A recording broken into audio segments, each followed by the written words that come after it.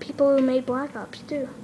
Hey guys, this is Beastman, Beastman66 coming here with the glitch that we found. I don't know how we did it, but I'm here with my cousin Jared. Hey, so Um, um, we have no clue what happened. see, I think we killed all. think we killed all the zombies or something.